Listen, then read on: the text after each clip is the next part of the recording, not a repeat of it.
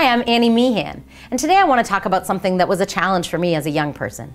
You see, at about six years old, I was diagnosed with dyslexia. And for many young people or adults that are diagnosed with dyslexia, we are considered stupid, not very smart. Something's wrong with us. We have a learning disability. We're disabled. But it's not really true, it's just we see things differently. I know many of my friends listen to audiobooks, but I can't listen like that. It doesn't process in my brain the same way it does in someone else's that doesn't have dyslexia. Recently, I had an epiphany about dyslexia that really helped me because often when I talk to audiences about wearing the label of dyslexic made me feel like I was incompetent, not smart, not capable, and yet today I've written books. And so I was teaching this audience about being dyslexic. What does it feel like to me to be dyslexic? And I couldn't really explain it in words because if you see words in the right order, that looks right to you. But to me, a misspelled word can look perfectly fine.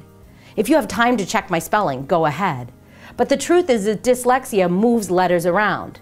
And I don't know a lot about sports, but often I'll tell people there's this football player, and his name's Randall. And he played for the Vikings and he played for the Bears but I can't remember his last name. Do you know him? All I know about him is he's the one football player that's always smiling, and I love happy people.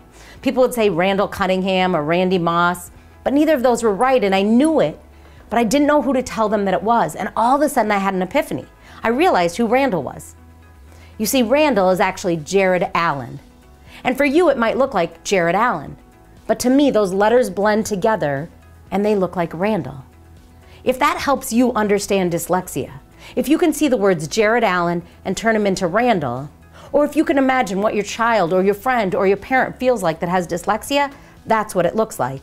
Taking two words, Jared Allen, and mixing the letters up and turning it into Randall. Not all the letters are there, but enough of them are that that's what it looks like to me. You see, having dyslexia doesn't mean that I'm stupid.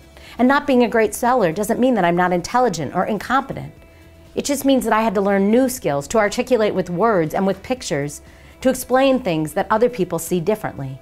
And just because we see something differently doesn't mean one is better than the other. If you have someone in your life that's struggling to read or write, maybe check if they have dyslexia. They're not stupid. Their brain just looks different and receives things differently than yours. I hope this helps you understand dyslexia and have a little more compassion and kindness for those of us whose minds and eyes see differently than yours. Maybe there's something to learn from them, and maybe they compensate by being more articulate or intelligent in other ways.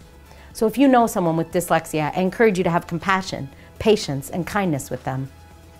Because they learn differently doesn't mean they don't learn at all. I'm Annie Meehan, a motivational speaker out of the Twin Cities, wishing to work with you and encourage your team to see things differently, to keep your mind open to wonder rather than judgment. Join me in becoming the exception.